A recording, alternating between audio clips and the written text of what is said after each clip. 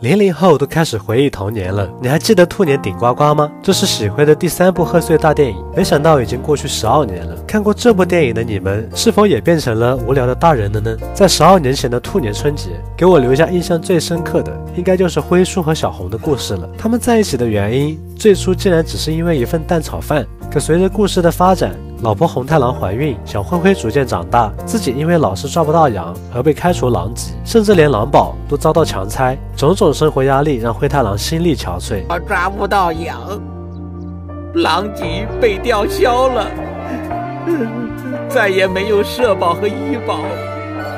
所以后续苦瓜大王发现灰叔的眼泪里，伤心苦、离别苦、焦虑苦、后悔苦、压力苦。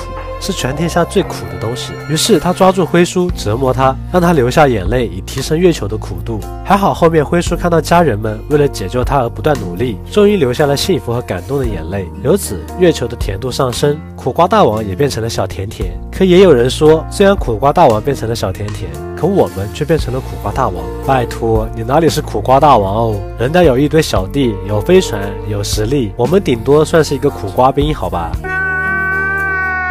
其实多年后再重新看这部电影，能明显的感觉到，这是整个生肖系列中承上启下的一部作品。整个电影都围绕着情感这个主题，只有尝过苦，才会珍惜甜。生肖已经转了一轮，你是否成长为一个合格的大人了呢？喜欢的生肖电影系列，当年觉得一定会播完，虽然最后只播到第七部，可七部作品都有各自的闪光点，他们曾是我的童年，曾是我们的童年。